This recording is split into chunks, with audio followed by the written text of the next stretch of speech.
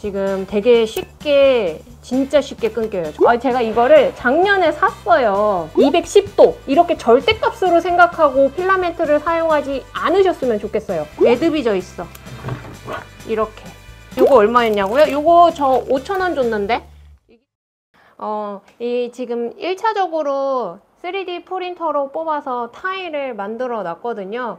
이제 보면은 색깔이 굉장히 알록달록 할 겁니다. 어, 일단 제가 메인으로 사용하고 있는 필라멘트는 국내 업체는 이제 세 군데 있고요. 그 다음에 제가 직구로 사용하고 있는 중국 업체 세 개가 있어요.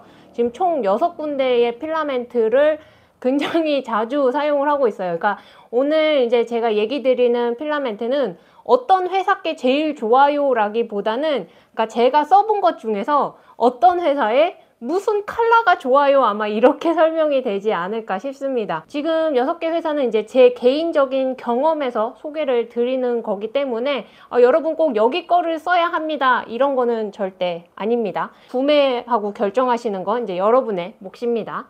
그렇게 해서 이제 국내 업체에서는 지금 이제 손돌이 손돌이 거 하고 그 다음에 덕유항공 거, 그 다음에 큐비콘 거 이렇게 지금 세 가지를 이제 주력으로 많이 사용하는 필라멘트 중에 하나고요.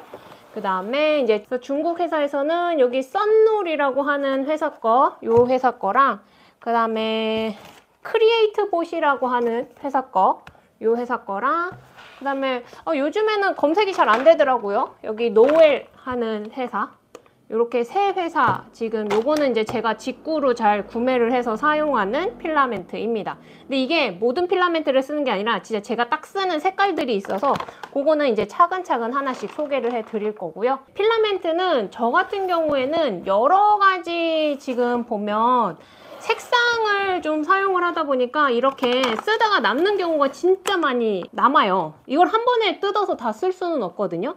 지금 딱 보면 어떻게 관리하는지 알 거예요. 자, 이제 개별 지퍼팩 비닐에 지금 실리카겔이라고 하죠. 방습제죠. 하나씩 들어간 상태로 다 개별로 지금 지퍼백으로 돼 있습니다. 요 두 회사 제품 거 같은 경우에는 이거 지금 새 거거든요. 지퍼팩 안에 들어가서 이제 제품이 나옵니다. 그래서 제가 좀 좋아하기도 하고요. 지퍼팩을 또 계속 쓸 수가 있으니까.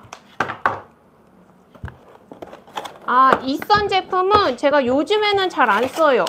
이선 제품 어, 지금 요즘에 보면 어, 필라멘트의 품질은 이제 거의 비슷해진 것 같아요. 품질 자체는 거의 비슷해졌고 일단은 사용자가 사용할 때 사용하는 온도 세팅이 좀 더 중요한 것 같고요. 그리고 이제 칼라의 발현이 오히려 저는 제가 원하는 모양을 뽑을 때마다 원하는 색상이 있다 보니까 그 칼라 쪽으로도 이제 광이나 칼라도 좀 많이 보고 사용을 하고 있습니다. 지금 보면 이렇게 손돌이 것도 그렇고 그리고 음, 요 뭐요? 큐비콘 것도 그렇고 그러면 이게 지금 요게 지퍼백이에요. 지퍼백. 이거 자체 포장된 게 한 여러 번 사용할 수 있는 지퍼백의 형식으로 안에 필라멘트가 들어가 있습니다. 품질도 잘 나오니까 쓰겠죠. 당연히 못 나오면 안 쓰죠. 품질은 비슷합니다, 이제는. 어느 정도는 비슷하게 올라왔어요, 다들. 자, 보면은 이렇게 어, 지퍼백으로 다시 사용할 수 있게 돼 있어서 네, 저는 그래서 이 두 제품 같은 경우에는 일단 편해서 사용 잘 하고 있고요. 필라멘트가 사용하고 남았을 때 다시 지퍼팩에다가 찝으면 되니까 그리고 지금 한국에서는 아직 안 하고 있는 게 뭐냐면 어, 요즘에 환경 문제 얘기 많이 나오죠. 이 보빈이 플라스틱이잖아요. 지금 얘가 어, 유럽 같은 경우에는 종이로 많이 나오고 있습니다. 그러니까 우리 왜 랩이나 그 은박지, 그러니까 휴지심이죠. 지심이죠. 지심. 그런 식으로 보빈 자체도 종이로 유럽에서는 많이 만들고 있거든요. 그래서 지금 제가 이런 우리나라에도 좀 보빈 같은 거 이제는 종이로 좀 만들어줬으면 하는 바람을 가지고 있어요. 물론 이제 가져가서 재활용을 할 수는 있는데 사실 이게 다시 모으는 게 더 그게 큰 일이죠. 사실 어, 새 거일면 아 그냥 하루 이틀은 그래도 밖에 내보내도 괜찮지 않아 라고 생각을 하실 텐데 진짜 여름에 비 많이 올 때는 어, 얘가 정말 뚝뚝 끊기거든요 가장 오래된 애 아직 그래도 생명력은 살아있어서 쓰고는 있는데 이거 2018년도에 만들었더라고요. 생산 열, 연도 보니까. 근데 진짜 얘는 정말 잘 이제는 뭐랄까 맛이 가가지고 지금 되게 쉽게 진짜 쉽게 끊겨요. 얘는 진짜 하다가도 몇 번 끊어 먹어가지고 이제는 작은 거 출력할 때만 쓰고 있는 그런 아이입니다.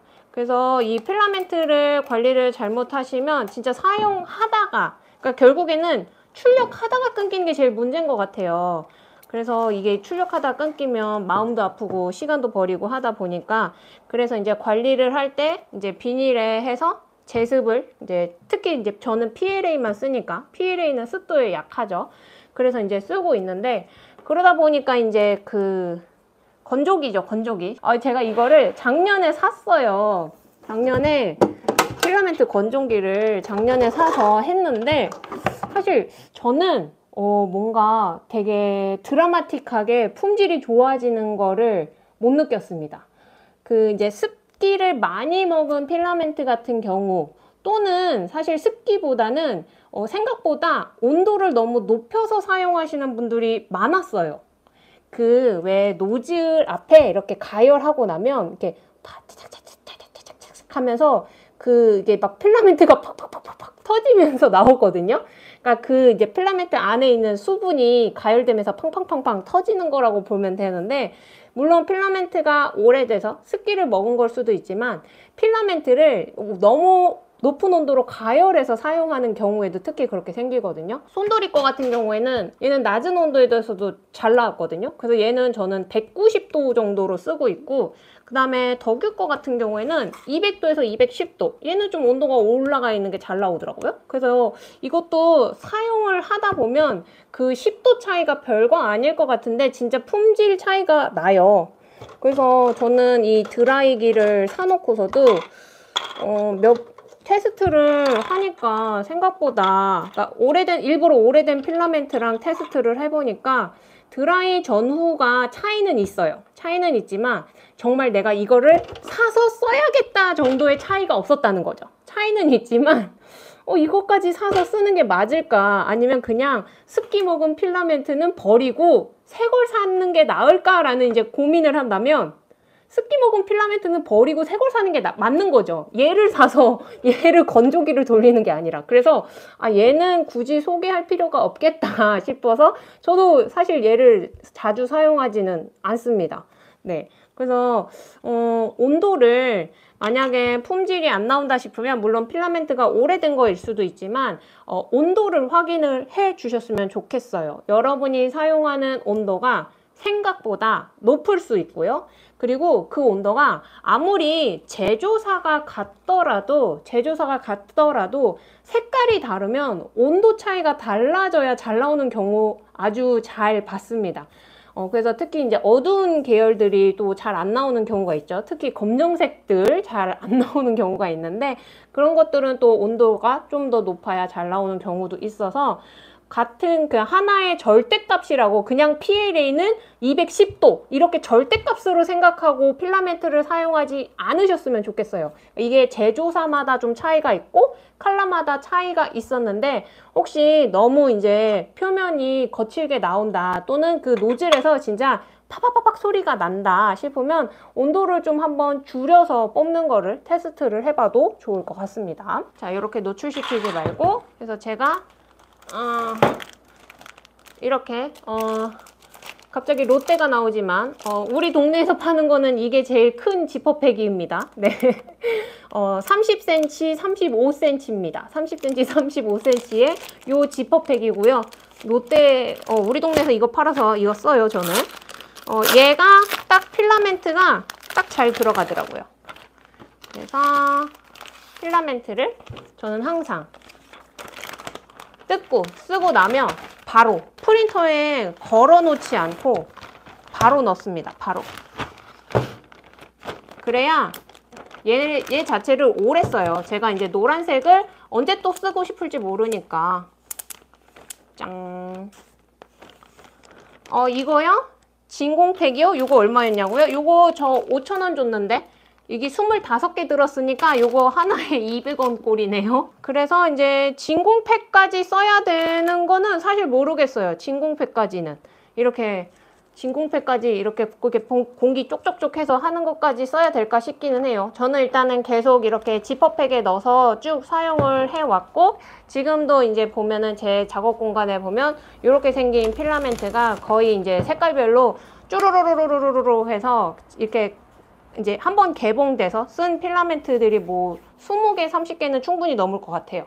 이제 저는 워낙 처음 사용하시는 사용자들 많이 만나다 보니까 진짜 어, 물론 이제 요즘은 필라멘트가 다 가지런히 예쁘게 감겨서 나오는 것도 있지만요. 개인이 필라멘트를 잘못 써서 꼬이는 거거든요. 필라멘트 공장 영상 보시면 그냥 이렇게 기계가 이렇게 윙윙윙윙윙 감아요. 이거를 꼬이게 할 수가 없어요. 근데 이제 본인이 사용을 하시다가 이 사용을 하시다가 이게 특히나 필라멘트가 많을 때, 새 거일 때 주로 그래요.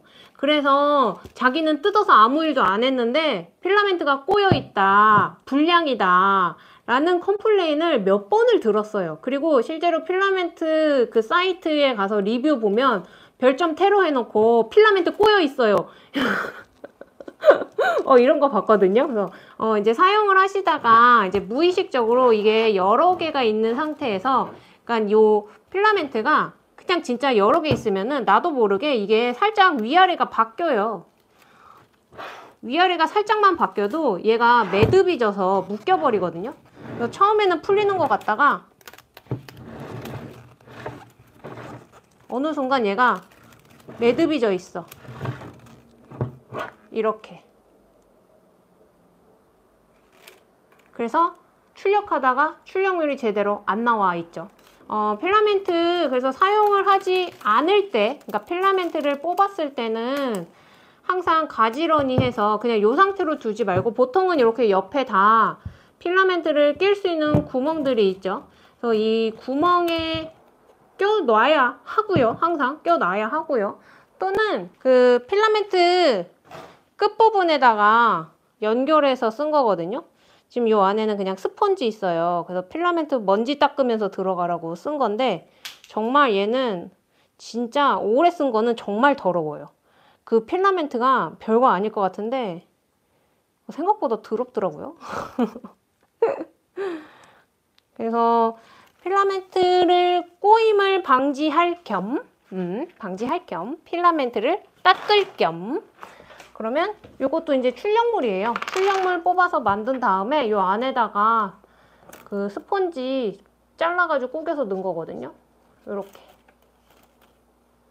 이렇게 두고 쓰는 거죠. 실제로 요거 이렇게 팔기도 하더라고요. 요렇게 생긴 제품이 있어요. 근데 뭐 이거야 프린터 있으신 분은 요거야 금방 만드니까 이거 띵기버스에 있습니다. 그래서 끝에 관리를 잘 하시면 필라멘트가 묶여서 어, 고생을 하는 일은 없으실 겁니다. 그래서 결론은 관리를 잘하자.